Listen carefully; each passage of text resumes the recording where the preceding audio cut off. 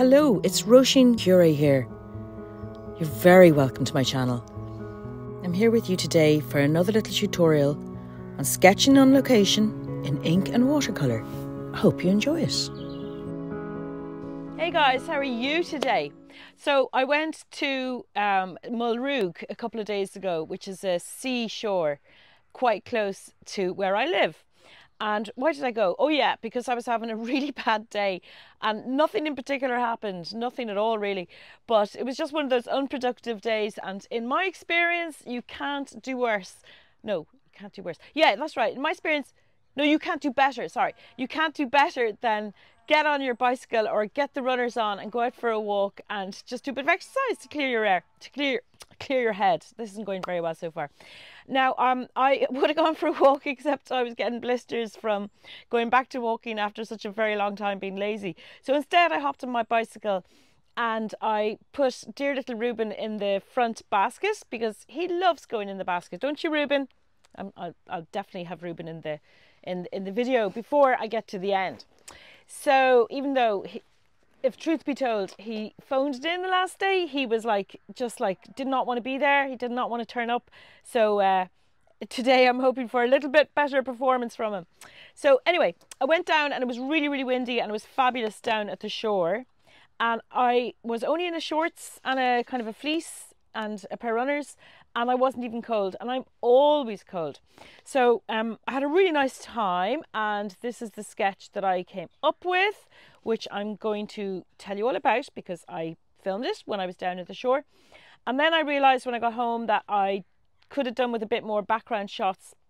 So I went back down there with Paddy, my son, yesterday and um, and we, we took some background shots and I'll, I'll show you um, I'll show you what, I, what we came up with and it was even more glorious than the day before because the wind had dropped completely and there wasn't a breath. So I did another quick sketch which isn't as fascinating and exciting as the first because I haven't finished it. That's just the way it is.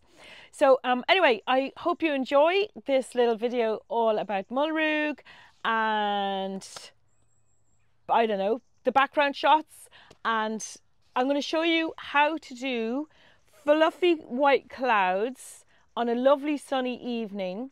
They're very specific to to sunshine and evening because what you get is like um, really okay. You've got the fluffy white bits at the top, and then you've got the kind of the slightly grey bits at the bottom of each of the clouds, and that's doesn't really change if there's clouds, whatever time of day it is. But when it's late afternoon on a really sunny day, you get like extra dark bits of grey just before the white fluffy bits at the top, which is a function of the sky and the sun being so bright, shining onto the clouds, making them white and fluffy, whiter and fluffier, not fluffier, making them whiter and, and more glowy.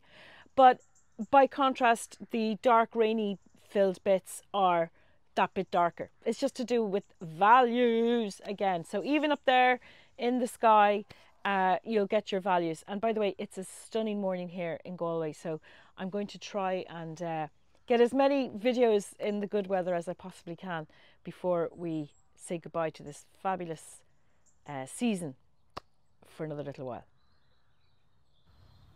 As usual, the only thing I've brought with me in terms of art supplies is my sketch pocket. Let's see what I have available to sketch today. Okay, I have my sketchbook.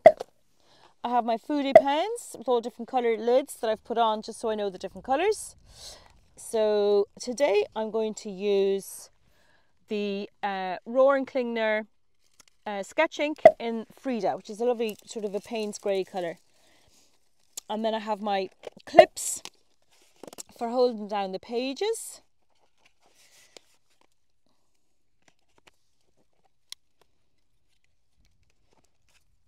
Sometimes you, you get this little divider getting trapped.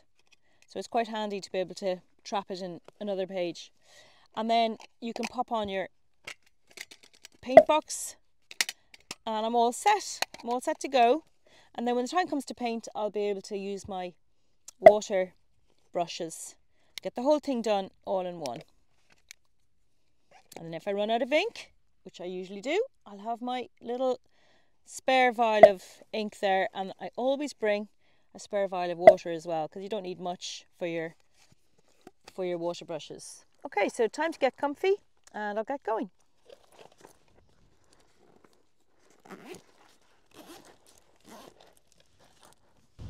Now it's very, very windy today, but I just thought I'd share with you a new cloud technique that has been on the back of my mind for a very long time.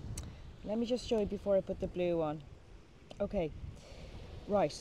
I've used, don't mind that little wet line up there. So I've used a very thin line. Make sure it's flowing well or it'll put you off. And I've drawn the outline of the cloud as best I could and then I drew little ink lines. Oh, it's gone all blurry. Hold on a second. Okay, wait now. Okay, see those little thin lines inside the clouds? They represent the parts that are going to have a dark line next to them. So there's a good example of one. And then as you march upwards, you can get a little bit darker. And it's not that the clouds get darker up there, it's more that the clouds are more brightly lit up by the sun and therefore they look whiter and then by contrast the dark bits look darker so again it's all about the values and I wanted to show you before I put the blue on I can't remember why but there was a reason let's have another look at that obviously they're changing a lot as I go but let's put the blue on now and I'm going to put the blue on by putting a clear uh, film of water on the bit where the blue is and then I'm going to mix up a blue wash probably phthalo blue because that's what I have I'm going to pop, pop it on and hopefully it'll land nice and smoothly. And then I'm going to try and capture these sparkles and all the rest of it. So I better get on with it before it starts lashing. And I know it doesn't look like it's going to start lashing, but you just never know on days like this. Okay, I've put my blue on and I mixed ultramarine intense with phthalo blue. And I made a little clear water film before I put any blue on. And that meant that as it dried it didn't it didn't leave bands. We don't want bands. Now it was perfectly smooth on the left and less so on the right. But then I took a chance, which I don't think has paid off. I wanted to make it extra blue right next to the frilly bits of the clouds. So I added a tiny bit and that is risky. So it'll only I'll only know for sure once it's bone dry and we're nearly there.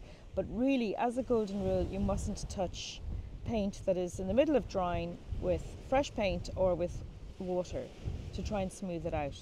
So it does require not just a deft hand, but it requires confidence to get a nice smooth sky and it also requires ability to predict the future and what the paint is going to do as it dries.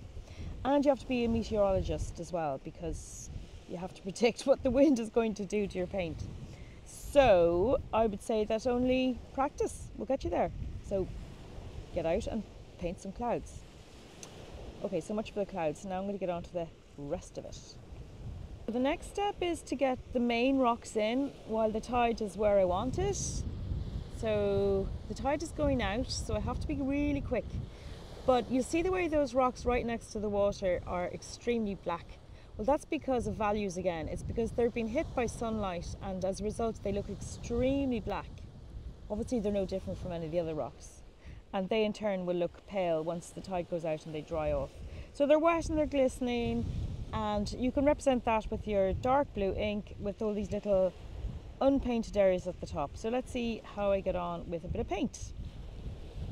Okay, I've put on the sea. Uh, it doesn't look very sparkly yet, but I'm hoping that the fact that I've used some very dark blues on the right means that the white gel pen I'm going to add is going to really stand out. So that's the plan there. Um, we've got a lot more rocks to do, so I better get on with it because the tide is, they are a changing. Right, well, beautiful though the day has been so far. Well, since I've been out here this afternoon, anyway. Nearly, I nearly was drowned on the way from the house to my studio this morning. But never mind that. So I've been here for a good while, and I'm starting to get a little bit cold. It's just as well because I'm nearly done now. Normally I don't bother going into such detail with the pebbles in the foreground, but I thought I'd give it a try this time. Now, all you have to do is do loads and loads and loads and loads of curves, clipping the bottom of each curve with the next curve underneath it. And then you just put in a little pop of darker bluey colour for the shadow at the bottom, at the intersection. Whoops, losing focus there, of each of the curves. I don't know, I'm not explaining it very well, but it's it's actually quite easy. And if you think it's tedious, well, I was laughing to myself because I, I was thinking I'm going to say to you, well, you need to cop yourself on because you're in an absolutely beautiful place. Well, I am anyway. And I hope you are too if you choose to sit by the shore and sketch. And uh, just get on with it and don't worry about it being tedious. Where else nicer could you be? Now, as you can see, my green paint ran there and that's annoying me intensely.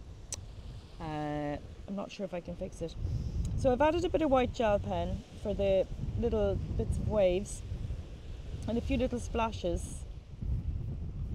And on the whole, I'm quite pleased. All I have to do now is put a little bit of black ink on the bottom of those rocks to really beef up the values. And then I'm going to get on my bicycle and put my dog do, Rubes, good boy. Put my dog into the basket on the front and I shall cycle home. And then I will be happy with the lovely day that I've had. Well, I'm pretty much finished.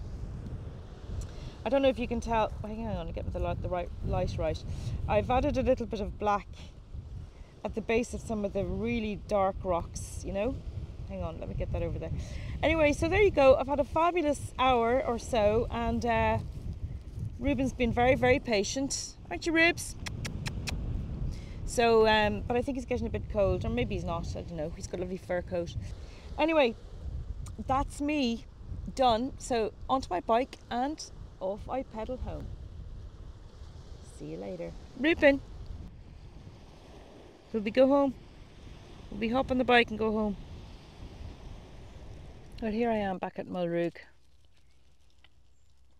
A day very like yesterday's beautiful afternoon.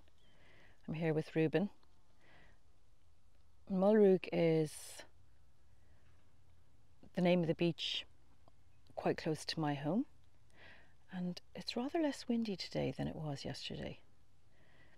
And there's no cars around, and I haven't brought my swimsuit, but I tell you what, I'd be sorely tempted to pop in for a dip because it's the tide is quite high. Let's get a little closer. Well, it looks kind of seaweedy over there, but it's actually really, really clear just next to the end of the pier. I've swum there so many times with my family. It reminds me of the time that Paddy went in for a dip and he told us afterwards that he saw a mouse swimming past him we figured it probably wasn't a mouse because it was very high tide and the uh, mice had nowhere to go but I guess into the water until the tide dipped low enough for them to get back onto the pier. Didn't put us off though. Now it's a lot calmer than it was here yesterday and the sun is not shimmering on the sea like it was but the good thing is the sea is so calm. The bad thing is I left my swimsuit back at the house. So I'm out of luck there because it would have been nice to go for a swim. Then again, if I had my togs with me, I probably would have chickened out as I usually do. It's good to be here though. Well, as I said at the beginning, I did start a second sketch while I was down in the shore there yesterday with Paddy. Now, I thought it would be a good idea to show you all the clouds again because I'd missed a bit at the beginning. This is the sketch when I sort of decided I wouldn't go any further. But I have a better idea. Rather than trying to squeeze as much as possible into a short YouTube video because you don't really want to have them longer than about 25 minutes, half an hour, I have decided to restart my teaching program that I was doing up until May of 24. So my new sketch club opens up early in September. So rather than try and fit everything into um, 25 minutes, my classes will be 90 minutes long and they'll always be live. So it'll be a bit of fun, a bit of crack, and they'll always be recorded. So if you can't get to a live for any reason, you'll be able to access them at your leisure. So if you'd like to know more, if it sounds like something that you might be interested in, contact me at sketchwithroisin at gmail.com. They're going to take place on Mondays. So the time zone will probably suit you from my experience, but get in touch anyway and I'll send you all the details. Well, I hope you've enjoyed that video and I hope it's helped you get a little bit more fluent with your cloud sketching. Um, what can I say? Except there's only one thing for it. You have to go out and practice. So um, Ruben is looking extra fluffy at the moment. Doesn't he look like a sea otter? I think a bit. Ruben, turn around a little bit. Show the fluff. Rubes, this way. There you go. Now, Ruben is a bit fluffier. But actually, I'm thinking of giving him a haircut today. So perhaps this was a good day for his uh, for his filming episode. All right. Thanks for watching, and I will see you next time.